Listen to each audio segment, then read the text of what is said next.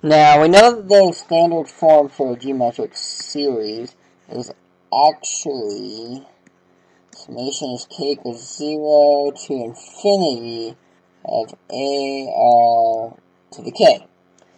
Well, now we're going to continue on. Well, this is a standard form right here. So, we know that the standard geometric series will converge for the absolute value of r is less than 1.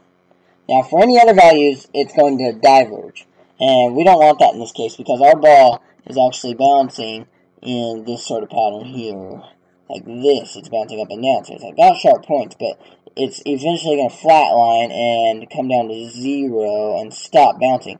So we know that there will be an actual distance that it travels. And our R is going to be the uh, decrease in the bounce each time.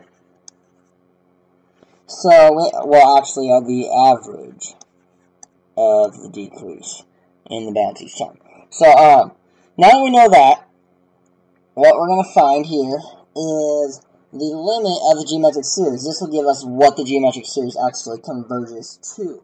So, we're going to take the limit as n goes to infinity. Goes from k equal to 0 to the n minus 1. Well, let's say ar to the k here.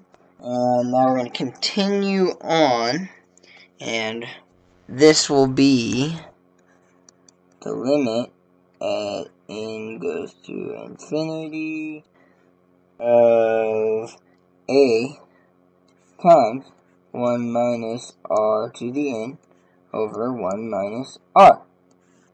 Well, what we can do here is we can take the limit of the r to the n and realize immediately this is going to be 0 because after all r is less than 1. And any case like that, we know that the series will, or the uh, sequence of that will eventually converge to 0. So, uh, knowing that r is less than 1 and that is converges, now we have our a times, and the limit doesn't even matter anymore, 1 over 1 minus r. So, a over 1 minus r is what our geometric series will actually converge to. So this will give us the value that the ball has traveled by the end of its series of bounces.